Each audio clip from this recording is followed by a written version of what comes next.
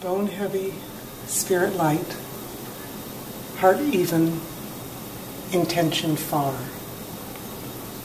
True interest, self expressed. Upright energy dives and swirls. Professor Cheng Man Ching.